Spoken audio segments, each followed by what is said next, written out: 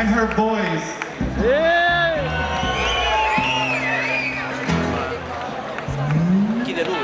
Here we go.